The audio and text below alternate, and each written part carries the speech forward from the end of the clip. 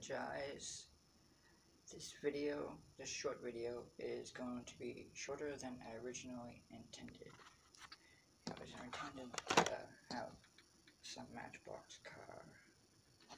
I have, I've been collecting Matchbox and Hot Wheels cars. We're gonna do a duration video, see which is stronger.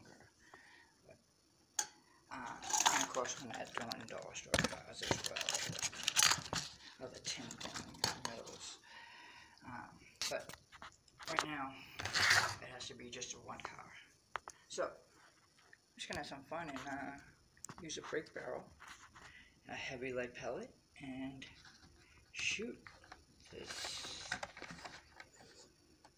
this uh, this little Hot Wheels car. All right, hope you enjoy.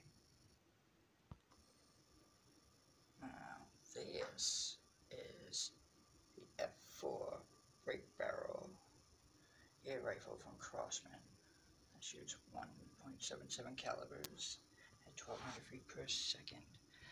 Um, I wanted to show this because because I was checking out Walmart and uh, this because I noticed the scope was better on the break barrels than it was on um, the pumps.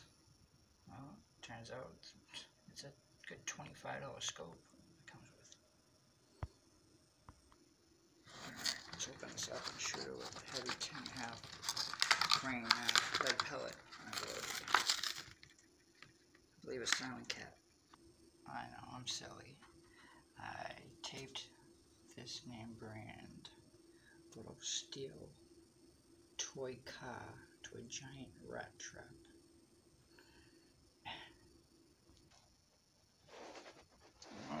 Ready or not, air in the hole.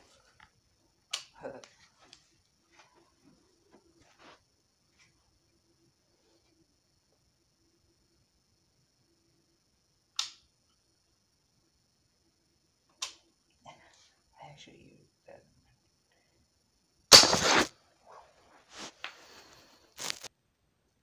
Wow, that was kind of fantastic. Of burning wood. Uh, actually bounced. I wouldn't say bounced, kind of uh, dented the crap out of it, kind of uh, skinned it. Uh,